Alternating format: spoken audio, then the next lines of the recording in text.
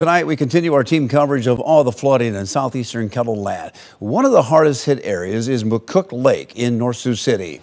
Several homes were swept off their foundations and collapsed in the high water after the state built a berm to try and redirect some of that flooding.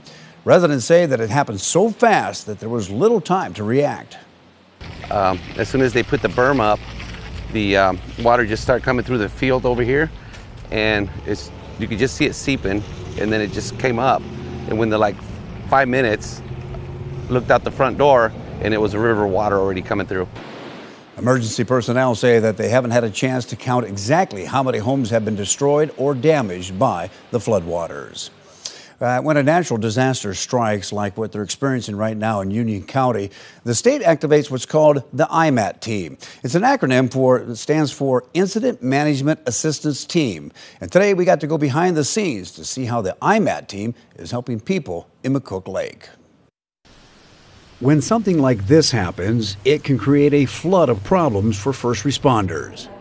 That's when the IMAT team comes in. It is not our role to come in and take over for anybody.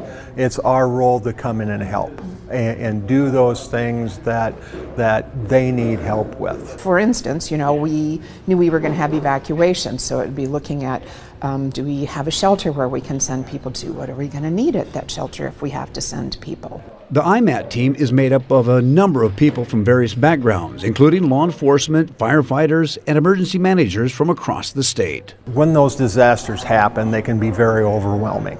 And what we try to do is to support those local emergency managers and local first responders um, to help bring some of that calmness, some of that organization to the chaos. The IMAT team navigates all the logistics, like monitoring critical infrastructure, and provide timely and accurate information to the public and media. It's a behind the scenes effort that the public never gets to see, but homeowners are grateful for the response. The emergency people have been great, the sheriff department's been great, the police department's been great controlling the traffic. Um, we got a lot of people, onlookers from Sioux City coming over. Um, I'm just asking for them to stay out because a lot of these people need their privacy they're going through a lot of a lot of heartache right now.